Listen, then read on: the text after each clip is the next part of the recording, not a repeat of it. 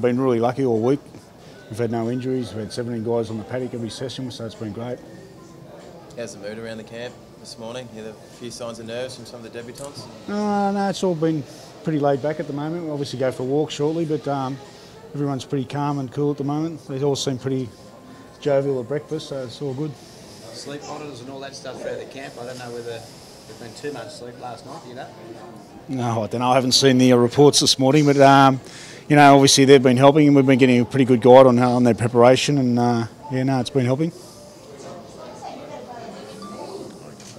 Like, you know, as far as a lot of these guys, they say they're confident and all that sort of stuff, but you've had good preparations in the past. What What do you think's different about this one? Um, well, obviously our preparation's been a lot different. You know where we've been and uh, what we've done, but you know you can never tell until you get to the uh, pressure cooker of Origin on what it's actually going to toss up. You know, and uh, you know a lot of people can play really well at NRL level and then they get to Origin and choke, but. You know, we can only go on what we've done this week. All the guys have been really good. Um, our training's been excellent. It's improved every session, which is what we wanted to do. And um, you know, you know, we're quietly confident we can, you know, play really well tonight. But have you noticed um, an air of confidence, of extra confidence around Jarryd Hayne this campaign? He's in sparkling form. Yeah, Jarryd's, uh, you know, he's obviously, you know, he's injury free and he's uh, certainly playing really well at an NRL level. He's been great for Parra. You know, hence one of the reasons why they're, they're going so well this year. And, uh, you know, we need him to bring that confidence and that air of arrogance into this, into this game and uh, certainly lead the way for us. You can't sort of do what they used to do in the old Origin days in that first 10 minutes, but how important is to get a good start in these 10 minutes and maybe get over the top of it?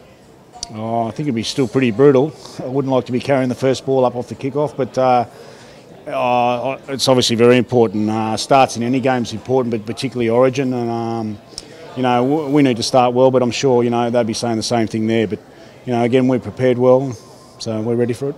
There'll probably be a few hecklers as you go for a walk this morning. Does that sort of make a few of the new guys realise what they're in for?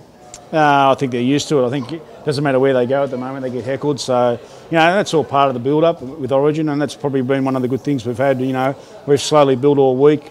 Getting away to Coffs Harbour has been really good. Uh, you know, it's a great facility, but it was sort of out of the limelight a bit there, and um, it was a very relaxed. But when we certainly as soon as we arrived here in Brisbane on um, Sunday, you know, it all started, and uh, you know that's all part of the fun. You know, the Queenslanders are very uh, passionate people, and they certainly rip into the boys, and it's as I said, it's all part of the fun and the and the build up to the game. And it's still uh, nine hours till kick-off. How do you kind of manage their energy through the day and stop them kind of burning out too early before we get to, to kick-off? It's just a matter of them. They've just got to relax. There's no good them playing the game before the kick-off, you know. But it's like any big game. It's up to them. It's, uh, you know, it's all individual preparation now. All, all, the teamwork, all the team meetings are all done. You know, it's all up to the guys to prepare the way they do it for every game. But you know, as we all know, Origins are special. There's three a year, and they're, you know they're absolute walls. And uh, you know anyone that's played one will know what they're in for. You know, and the and the debutants, you know, they'll be all wondering what is it, what they're in for. But you know, you know, they're all pretty confident, and uh, you know, it's been a really good week. Everyone's stuck solid, and it's been terrific.